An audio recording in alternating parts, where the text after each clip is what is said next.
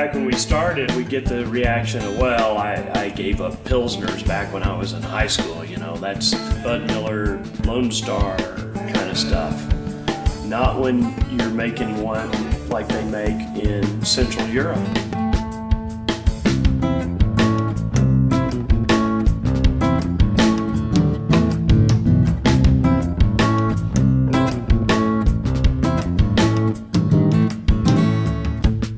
When you think of monastic brewing, you think of the big dubbels. We've got a pretty darn good example. It's very complex, a bit on the malty side, and it comes in just about 8%. That's what we call Galena.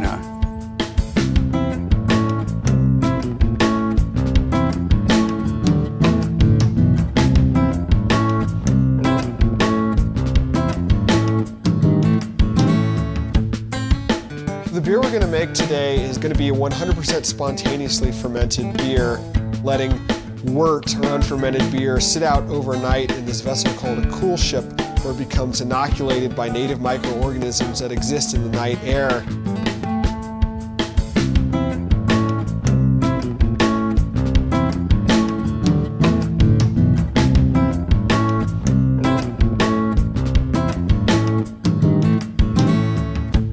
This is going to be an Imperial Rye IPA, 20% rye for 20 years, very hoppy, pale in color.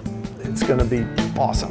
One of the things that we wanted to do was recognize all the people that helped us get here, and so we just reached out to as many people as we could. We called it a, a rye union.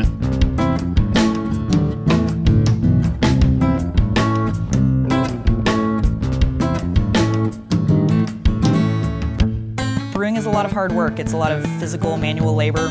Grunt work. Yeah. There's things that can happen that really kind of make it uh, a sweaty, intimate situation of stress and troubleshooting. Come in on Monday and wear your boots, and if you're still here on Friday, I'll buy you a beer.